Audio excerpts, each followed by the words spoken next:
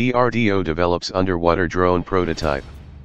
Kochi, even as the Indian Navy's ships and submarines are being equipped with different kinds of sonars, defense scientists are looking at newer technologies to equip services to protect the territorial and the exclusive economic zone waters.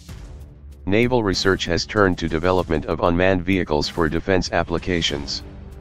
This will be for surveillance purposes. We have developed a low-endurance prototype and it has been tested in many waters, said Samir V. Kamat, Director General, Naval Systems and Materials, DRDO. He said that the DRDO Management Council had given sanction for the project and was likely to commence in a few months. Countries like the US and China are working on underwater drones which will fire torpedoes. As of now, this is our immediate project. But it is not on a mission mode. It is being taken as a technology demonstrator which can then be tailor-made for the Navy depending on their needs, he said.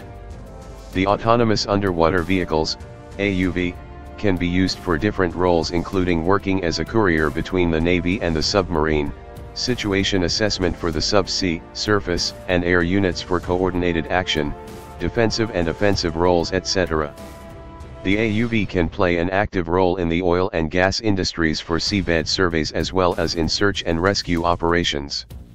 We are looking at the power and fueling options, he said. Yet another technology that is being discussed is deploying sensors in the waters, along the coast and the deep sea. With the presence of the Chinese submarines which have become active off the Indian waters, a sensor network has become important. However, the logistics of powering the sensor and its communication with the warships or the ground control is being looked at. The coastal surveillance following the 26/11 attacks is already in place which work as eyes of the sea and help the coastal security agencies in keeping track of events.